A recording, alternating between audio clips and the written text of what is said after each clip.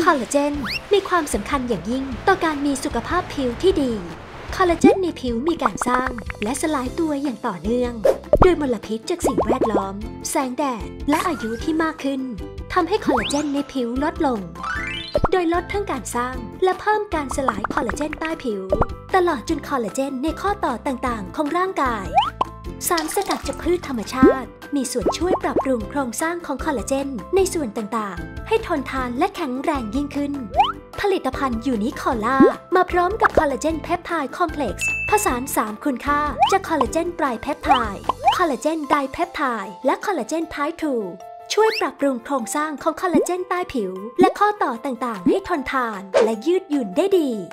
สู่เรื่องจริงของอาหารผิวกระจ่างใสระดับเซลล์ astaxanthin อเอนไซม์ Q10 ไลโคปีน และไกลซีน และที่เหนือไปมากกว่านั้น เราค้นพบสุดยอดสารสำคัญจากธรรมชาติ 2 ชนิด คือ Phytoceramide และ Phyto Beauty Infuse Phytoceramide สารสกัดที่ได้จากข้าวสาลี มีคุณสมบัติช่วยเพิ่ม ceramide ที่ผิว